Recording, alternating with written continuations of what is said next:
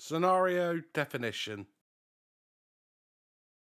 The scenario definition is where we define certain aspects of the scenario for use by the back end and the user interface. There are many things in the file that we do not need to touch, but these will be explained as we go through the file.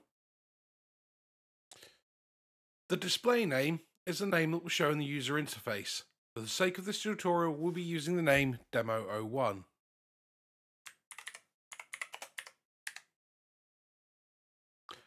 Version number, we can leave as zero.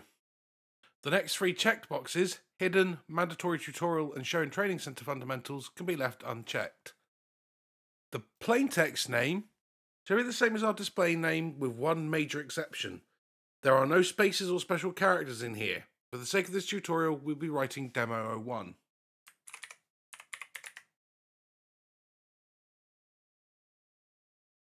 Scenario type will be left as mission unless you are writing a tutorial. Order number sets the order in which the scenarios will be displayed. Since we are only creating one scenario, we will leave this as zero. You can pick and choose where your scenario sits if you're creating a pack. the description is where we write the description that will show in the user interface. In this instance, we will just write this as this is a demo scenario.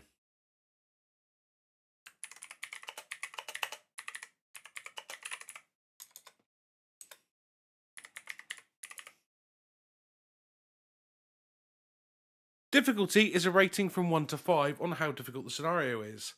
This number corresponds to the boxes to the right of a scenario name in the game user interface. Setting this to 1 gives us 1 green box, where 5 would give us 5 red boxes. For the sake of this tutorial, we will set this to 3.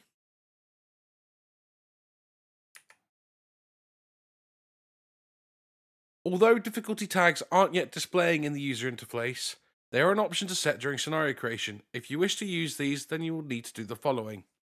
First, click the plus icon. Now click the arrow next to the zero. Under Data Table, search for Scenario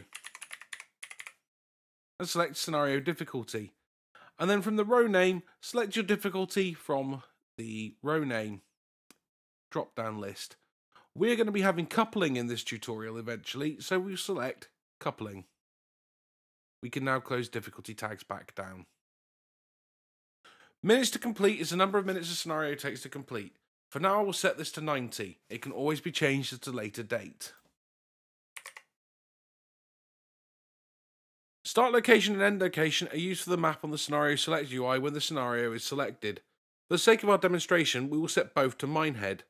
Map waypoints below this are used in an instance where a route has multiple ways of getting to a destination to show the correct route on the map. If you were doing, for instance, say on the Brighton to London map, you want to go from Brighton to London Victoria and then back to Brighton, your start location tag would be Brighton, but to get the map to show correctly, your end location tag would be London Victoria. As I said though, for us, it's going to be Minehead and Minehead as we're not leaving the Minehead area.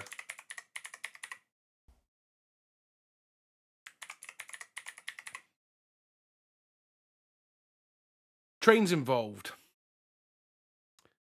This is where you set the rail vehicle definition of any player train as used in the timetable. Since we will only be using the West Somerset Railway Class 09 for our tutorial, we will look for and select its rail vehicle definition file or RVD.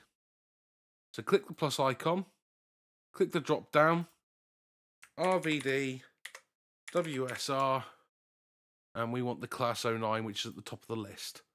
That now tells us that we're going to be using the class 09. Icon is where we would set the image that is shown on the scenario select screen. We'll come back to this at a later date.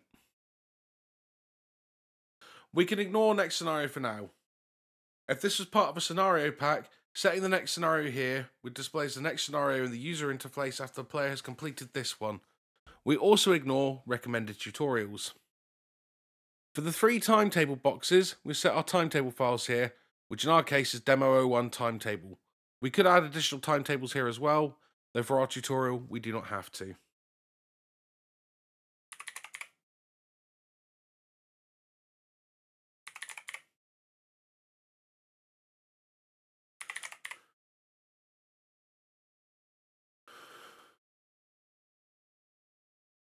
Player only services is where you list the services driven by the player. This name is taken from the name of the service or services defined in the timetable. It means that the AI will not drive this service. For the sake of ours, I'm going to set it as player 09. And this is what we will call the service in um, the timetable when we go back to it. Now, if we set the start scenario driving train checkbox to tick, ticked, sorry, the player will start in the train. For this to work, you will need to know the seat name from the train's RVM and have the GUID of the train. Alternatively, you can have the player start outside the train. This is done by placing a start actor in the world. We will not be covering this as part of this tutorial series. It will, however, be covered at a later date as part of a list of miscellaneous tutorials. For now, we're going to click that and we're going to leave all this blank because we'll come back to it. Scenario trigger spawn. This is where we set the spawn marker for when the player is in on foot mode. To set this up, we click on pick location. We then go to West Somerset Railway map, come up, and just for this instance, I'm going to put the, I'm going to select arbitrarily on the platform here. Now, if we go back to the definition, it's now filled in the spawn location here. If there is an issue, we can use the spawn offset to offset the spawn from where it is. We want to set the trigger view asset to scenario trigger view blueprint. And for the display text, something simple. In our case, the demo one scenario.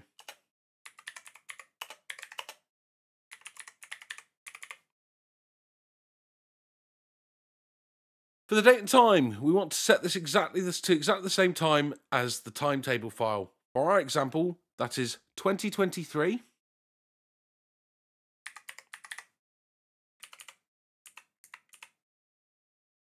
Oh nine two three and then 0830.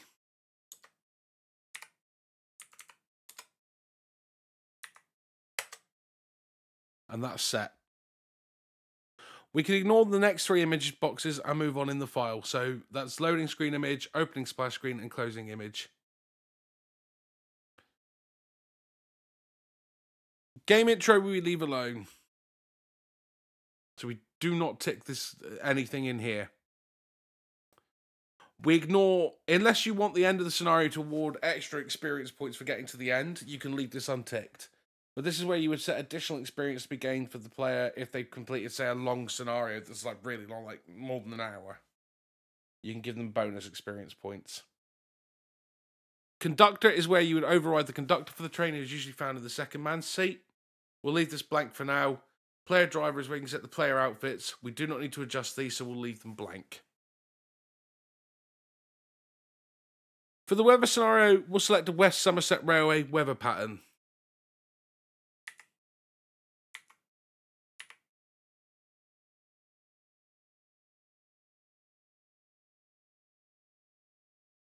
and I'm going to select preset clear sky with an with initial wetness of zero. If we had it raining at the start of the scenario, initial wetness is where we would set how wet the ground is between zero being not wet and one being fully wet. The same goes for in winter scenarios when you have snow, the initial ground snow level and the initial piled snow level, and these are dynamic during the scenario.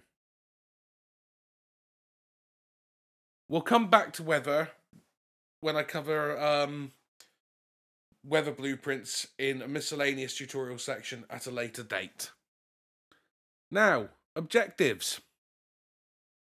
We'll select our objective file under Scenario Manager Actor class, which should be Demo 01 objectives as we set. We want to tick auto generate objectives from a service. and then select Objective Composer WSR from the Objective Composer class. So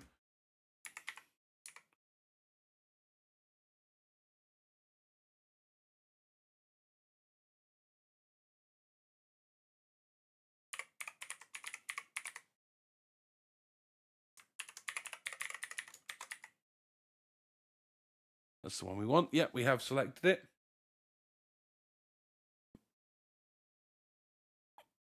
We can ignore vehicle numbering overrides and move on to the score section.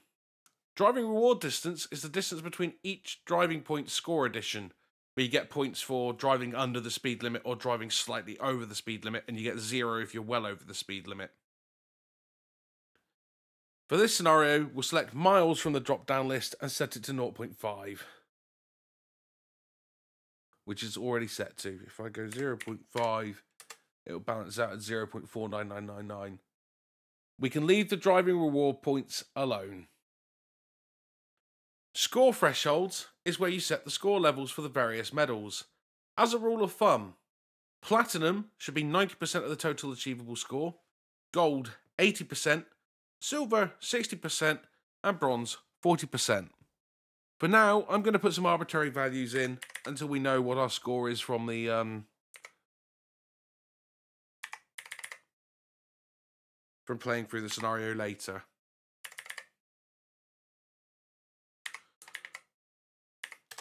We will return to the definition file later to to change some things around.